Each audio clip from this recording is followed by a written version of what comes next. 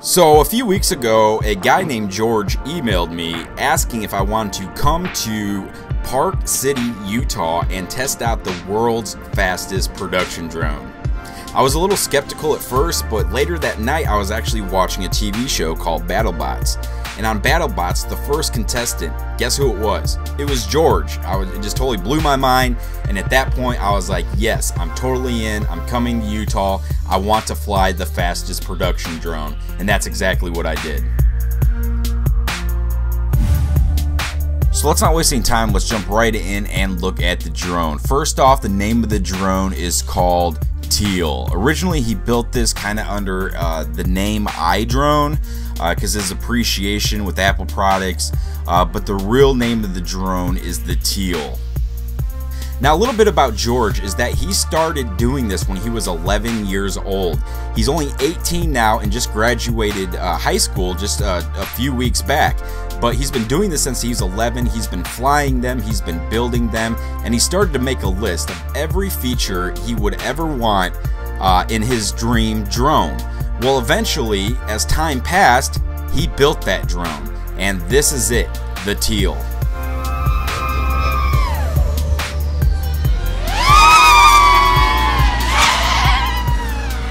So not only does the Teal do 70 miles per hour plus and have a built-in camera capable of recording 4K at 24 frames per second, but this thing also has a built-in supercomputer. But let's just have George tell you about that real quick. So these are three Teals uh, with different configurations. This is sort of the standard package that comes out of the box. Uh, gets the user flying and has a 4K camera integrated, fully electronically stabilized, the supercomputer built in, and then it's fully upgradable with, with these configurations, for example. So we've got the prop guards, the FPV cover. Uh, the idea behind this was to make it as expandable as possible so that users can tune it to their flight style or, or the use case that they want to fly it for. So instead of just being a flying camera, we can also play games with it, we can race with it, you can toss it up in the air, have it follow you around. And then developers can actually start to build apps around this. And we can build an app store of use cases and, and uh, uh, you know, see what's possible in this space. Like I mentioned, on the hardware side, it's fully modular. The arms plug in and out. The battery snaps in on the bottom. The top cover also comes off really easily, so you can switch it out with uh, different kinds that, that, let you mount FPV equipment, prop guards, uh, any sort of equipment. And then on the inside, we have the, the necessary connections and peripherals to be able to connect different types of sensors and modules, and, and then program it to do what you want.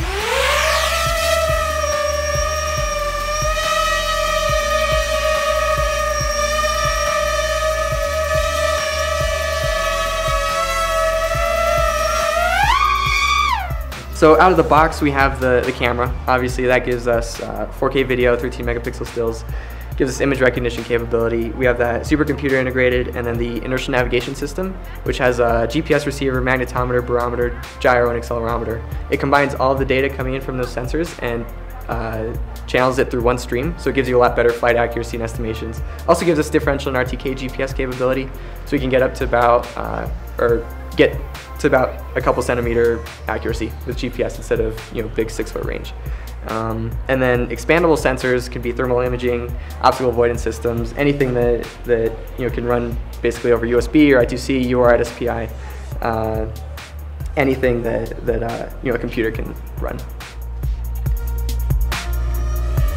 So let me give you an example of one of these apps that George explained to me.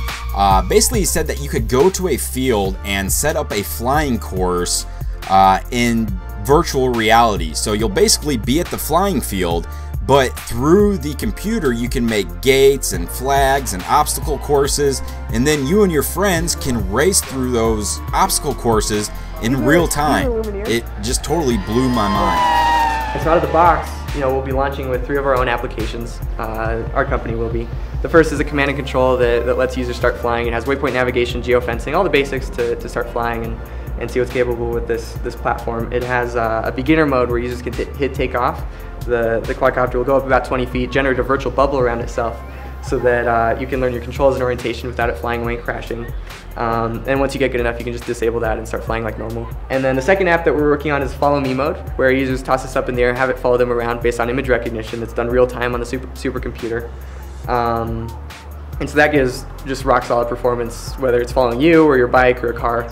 And then the third app that we're building is a racing and gaming mode where users can log their flights and telemetry, be able to compete against other people virtually online, and also augment, also integrate some augmented reality where you can actually fly through obstacles and, and feel like you're going through a race course even though you're just in a parking lot or a field. Um, and then we'll be you know, offering those SDKs like I mentioned, start building out other apps for the platform that just work through your smartphone. Um, we've been we've already been going to hackathons and different events, seeing what what you know developers are interested in doing with this, and they, they go all the way from you know mind control with EEG headsets to analy analyzing their baseball bat swing to playing hide and seek. You know anything that you can imagine is is programmable with this. Um, and then you know even though we're gearing this towards the consumer market, uh, for consumers, hobbyists, racers, and developers, we also want to start you know exploring the commercial market and seeing what's possible with search and rescue, agriculture monitoring, with uh, the machine learning capability, with the supercomputer, we're actually you able to do things like with search and rescue, you can send out a swarm of these, have it identify a person, learn what a person looks like versus a rock or a tree, and then be able to autonomously identify them. Uh, you know, things like that that, that make it um, you know, just so much more capable than, than other aerial platforms out there today.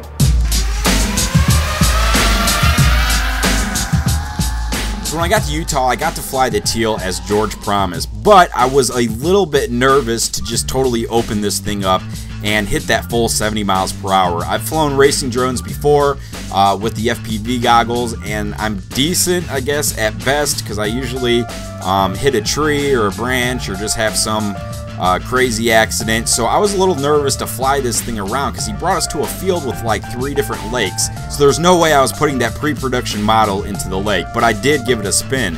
I even brought my DJI Phantom 4 just to do a comparison so you can see uh, the difference between these two. Go! Go!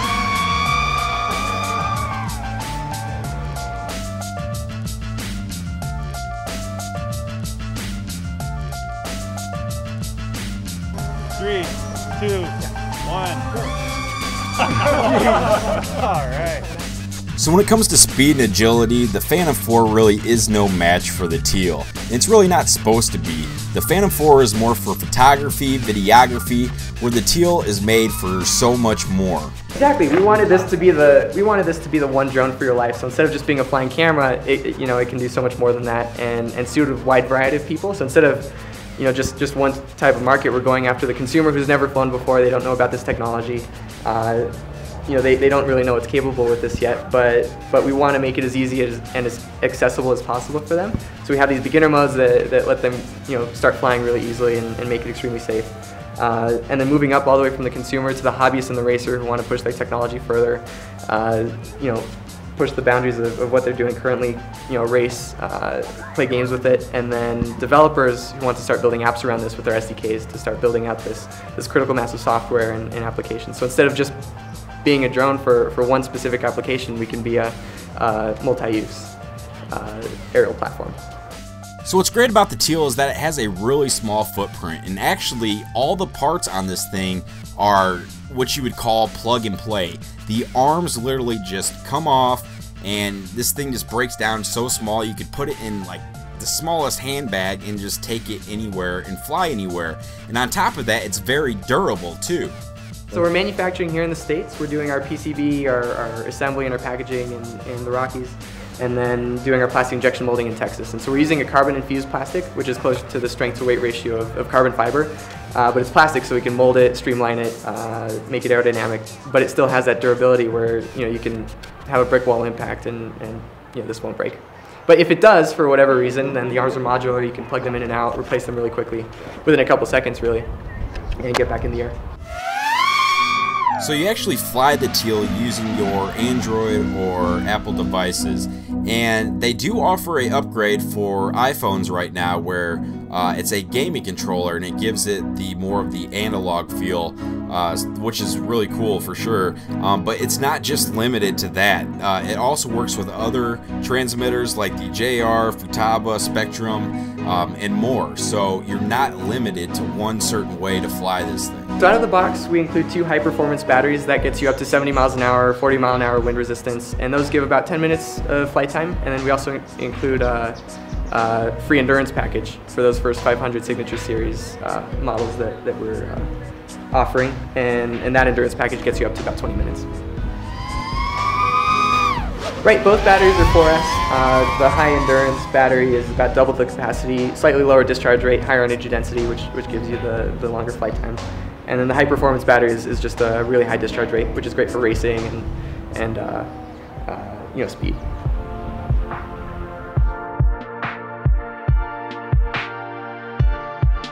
We're looking at $12.99 retail just on the Phantom 4. Um, and then, you know, as we scale to higher higher inventories and, see what the market demand is and, and uh, you know, get our costs down, then, then our, our goal is to keep lowering that. But manufacturing in the USA, you know, having a supercomputer integrated and an inertial navigation system, not taking any shortcuts on any components, you know, our, our costs are pretty high and, and we're, we're frankly not making much margin. But we wanted to get this out to as many people as possible, show them you know how incredible a, a, a drone can be and, how, how capable it can be, how easy it is to fly, um, and, and, make it as accessible as possible to, to as many people as possible. So that basically sums up my trip to Utah and my first experience with the Teal. So what do I think? I think the Teal is an amazing drone with tons of potential and possibilities. I really think once the app developers start developing these applications, uh, is when we're really going to see the real value um, of this drone. Now, right now, pre-orders are happening, so you can pre-order this guy. I'm going to put links in the description. I'm also going to put links in the description um, so you can read up more about uh, the company and about George. And also, there's a few other guys who uh, were down there with me that are going to be putting out uh, reviews too. So I'll go ahead and put their channels on there so you can check out their reviews. Uh, but just remember, this one was a pre-production model that I looked at. The real uh, production model will be that carbon-infused plastic. Um, and, you know, George is actually going to send me one of these um, the first batch is going to be delivered before Christmas. So when I get it then, I just cannot wait to test out like everything I talked about in this video. Um, I'm going to make a whole nother video on it then too about me testing out everything I can possibly do. And I'm really looking forward to racing this guy, FPV. Um, I have some Fat Shark version 2 goggles I can just uh, hook up with this thing. So I'm really looking forward to that. But uh, that is the teal. I'll put a link in the description, and thanks for watching.